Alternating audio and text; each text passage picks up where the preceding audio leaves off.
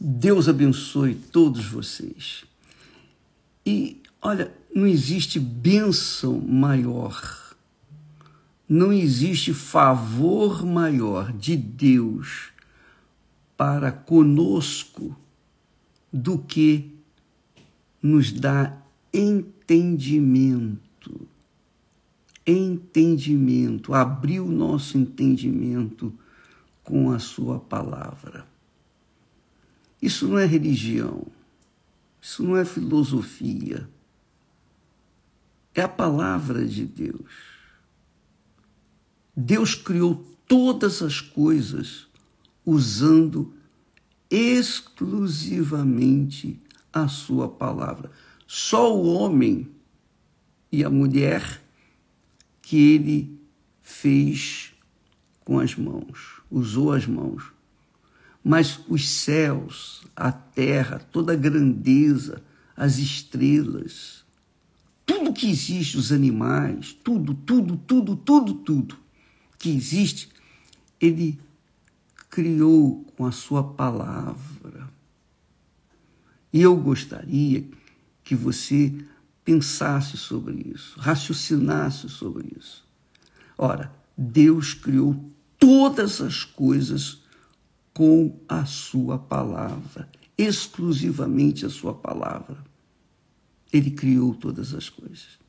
Ora, quando uma pessoa pensa nisso, ela fica absolutamente entusiasmada, porque ela não precisa ver Deus, tocar em Deus, sentir Deus, nada disso. Ela só precisa crer na palavra de Deus. E crer na palavra de Deus é fé. Fé é dependência da palavra de Deus. Fé é viver na dependência da palavra de Deus, que nada tem a ver com religião. A religião, no meu ponto de vista, é é algo que fantasia, é, é uma fantasia que faz a pessoa é, sentir-se melhor, mas não resolve. A religião não resolve. Se religião resolvesse, esse mundo seria um mar de rosas, porque todo mundo tem religião. Até mesmo aqueles que dizem que não creem em Deus, eles acabam crendo, porque não se pode crer em alguém que não existe. Se não crê, é porque crê. Então, fé, fé diz respeito à dependência de Deus. Essa é a fé que Deus quer de nós. Quando Jesus ensina ah, que a gente não deve ser ansioso, ficar preocupado ou ficar é, inquieto com o amanhã, enfim, ficar é, sofrendo por uma coisa, pelo dia seguinte ou pelo dia que passou, nada disso. Quando a pessoa, quando Jesus fala, ensina, quando diz, quanto ao vestuário, por que andas ansiosos? Por que andais ansiosos? Olhai os, para os lírios do campo, como eles crescem. Eles não trabalham nem fiam. Porém vos digo que nem mesmo Salomão, em toda a sua glória, se vestiu como qualquer deles. Quer dizer, Jesus disse: por que por que andais ansiosos? Por que fica preocupado com o dia de amanhã? Eu sei que é difícil, é, é difícil na prática você viver assim. porque nós somos humanos sujeitos à maldição do pecado. Mas Jesus nos ensina a viver na dependência de Deus. Mas como que eu posso viver na dependência de Deus? Você pergunta. Como é possível? Pois bem, é por isso que Jesus disse: buscai primeiro o reino de Deus e a sua justiça. Mas buscar o reino de Deus, o que é o reino de Deus? O que é a justiça de Deus? Buscar o reino de Deus é buscar o governo de Deus, é buscar se sujeitar ao governo de Deus. E você sabe, se sujeitar ao governo de Deus é a mesma coisa que o, os governos do mundo. Você é obrigado a se sujeitar às leis do governo em que, do país em que, onde você é, vive não é verdade? Então, todas as pessoas que vivem num determinado país são obrigadas, são obrigadas a observarem as leis daquele país. Que quer dizer, são obrigadas a cumprir as leis daquele país. Elas estão vivendo sob o governo daquele país.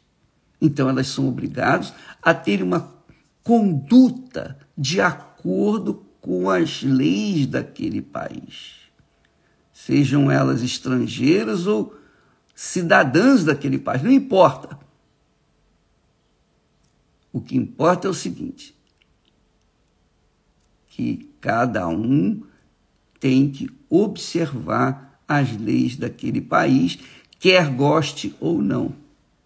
Porque são pessoas que vivem ali naquele governo, sob aquele governo. E Jesus está falando justamente isso.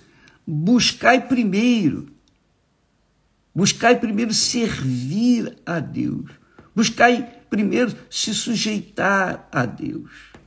Mas como que eu posso me sujeitar a Deus? Ouvindo e obedecendo a palavra dele. É isso.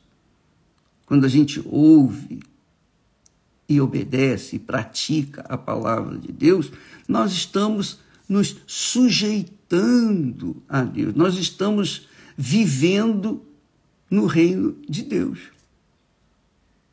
Ah, mas isso é muito difícil, é muito difícil. É, não é fácil, mas para que nós possamos fazer isso, nós precisamos do Espírito Santo. Lembra que falamos ontem? Quando a pessoa. O Espírito Santo é o substituto de Jesus. Enquanto Jesus estava aqui na terra, ele conduzia suas ovelhas, seus discípulos. Quando Jesus subiu, ressuscitou e assentou-se à direita do Pai, ele enviou então o Espírito Santo. O Espírito Santo veio, está aí. O Espírito Santo está aqui, nesse mundo. Você sabia disso? Ele está aí, onde você está. Ele está em todos os lugares. Ele é onipresente, ele é onisciente, sabe de todas as coisas, e ele é onipotente, ele é o todo-poderoso, ele é grande, ele sabe de todas as coisas. Ele sabe de tudo, tudo, nada passa sem que ele não tenha conhecimento. Então, quando a gente recebe o Espírito Santo, quando a gente é selado, é, é o termo, o selo, a marca, o carimbo de Deus, quando temos esse carimbo de Deus na vida, naturalmente a gente observa a palavra de Deus. A gente pauta a vida, a gente sustenta a vida, a gente norteia a vida de acordo com o que está escrito na palavra de Deus. E isso significa o, o reino de Deus, viver ou é, procurar viver no reino de Deus. Primeiro o reino de Deus. Então, quando uma pessoa busca o Espírito Santo e recebe, então o Espírito Santo vai conduzir a sua mente.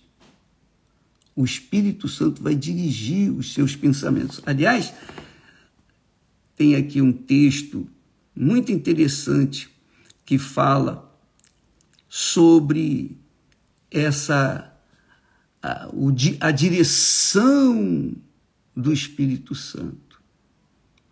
A direção do Espírito Santo na vida daqueles que estão sujeitos ao seu governo, ao governo de Deus. Diz o texto sagrado que Deus falando, ele fala: Esta é a aliança que farei com eles depois daqueles dias, diz o Senhor. Porei as minhas leis em seus corações e as escreverei em seus entendimentos. Escreverei em seus entendimentos, porque as pessoas erram por não obedecerem a palavra de Deus, mas não obedecem porque não entendem, não sabem o que é certo e nem o que é errado. Elas vivem num contexto de um mundo mentiroso, enganador. Nós vivemos num mundo endiabrado. Mas ele diz: porei as minhas leis em seus corações, quer dizer, em suas almas, em seus sentimentos e entendimentos. E diz, e diz mais: e jamais me lembrarei de seus pecados e de suas iniquidades. Quer dizer, quem busca o reino de Deus e acha Claro, todo que busca, acha. O que pede, recebe. A quem bate, se lhe, é, se lhe é aberta a porta. Então, a pessoa que quer, que deseja, que almeja, que tem sede de viver uma vida de acordo com Deus, com a sua consciência boa, em paz, porque se você está bem interiormente, você estará bem exteriormente. Infelizmente, as pessoas procuram mais atender às suas necessidades materiais, físicas, do que às suas necessidades espirituais. E aí é como colocar o carro na frente dos bois. Aí dá errado, não tem jeito. Por isso que o mundo está dessa maneira. Mas quando a gente coloca a palavra de Deus, quando a gente busca ouvir e colocar a palavra de Deus em ação em nossas vidas, nós estamos agindo a fé. Essa que é a fé. Alguém disse, Senhor, dá-nos fé. E essa é a fé. Você sabe o que tem que fazer e faça, obedeça. Isso é religião? Não. É filosofia? Não. É a palavra de Deus. Imagine se a palavra de Deus construiu tudo que você vê nos céus e na terra, toda a grandeza, toda a glória de Deus, as estrelas, sol, a lua, a imensidão do universo as flores, as matas, os mares.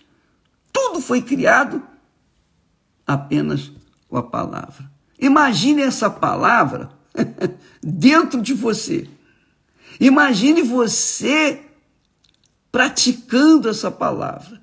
A sua vida terá que ser excelente, magnífica, abundante, abençoada. Por quê? Porque é a palavra de Deus que está sendo exercitada dentro de você. Quer dizer, isso quando a pessoa busca o governo de Deus na sua vida, que é o Espírito Santo. Só o Espírito Santo é capaz de fazer isso. Sem ele, é impossível. É impossível o ser humano obedecer a palavra de Deus sem o Espírito Santo. Porque é o Espírito Santo que nos dá a fé. Ele é o Espírito da fé.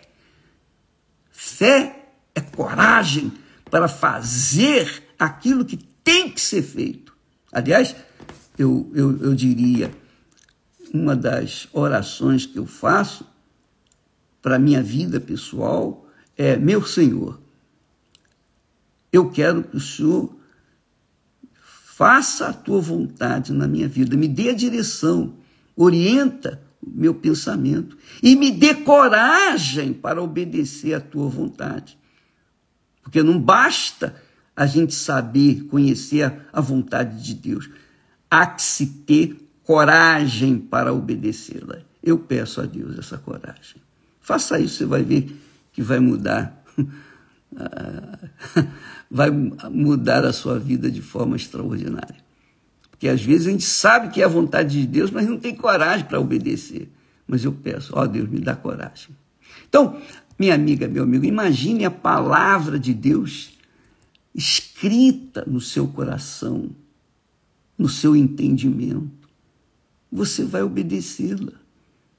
Quer dizer, você vai exercitar uma fé inteligente, porque você vai obedecer a voz de Deus, não a voz da religião, da igreja, nada disso, mas a voz de Deus. A voz de Deus é poderosa. A voz de Deus é poderosa. Imagine a voz de Deus dentro de você.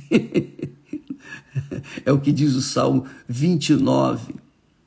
A voz do Senhor é poderosa, ao ponto de separar as labaredas de fogo. Imagine a voz de Deus gravada dentro do seu coração, na sua mente. A sua vida terá que ser diferente. É ou não é? Fala, fala a verdade. Então, o segredo é ter o Espírito Santo. E isso cada um tem que sacrificar a própria vida para ter a vida de Deus dentro de si. Não é possível você viver ou ter uma vida é, uma vida suja, uma vida imunda, uma vida desregrada e receber o Espírito Santo. Primeiro você tem que morrer espiritualmente falando para este mundo para receber o Espírito de Deus. Se você quer o Espírito Santo, você está disposto a pagar qualquer preço por isso, então morra sua vontade e deixe o governo de Deus fazer a vontade dele através da sua vida. Sujeite a sua vontade à vontade de Deus, ao governo de Deus. Isto é, buscar primeiro o reino de Deus e a sua justiça. E Jesus promete e todas estas coisas vos serão acrescentadas. Tudo, tudo. Comida, roupa, casa, qualquer coisa, saúde, tudo vai ser acrescentado a seu tempo. Entendeu, minha amiga, meu amigo? Então, buscar primeiro o reino de Deus e a sua justiça é o Espírito Santo. É buscar o governo do Espírito Santo dentro de você. E uma vez ele dentro de você, ele vai conduzir sua mente, seu pensamento, seu coração, sua vontade, segundo a vontade dele. Deus abençoe a todos e até amanhã. Deus abençoe. Amém.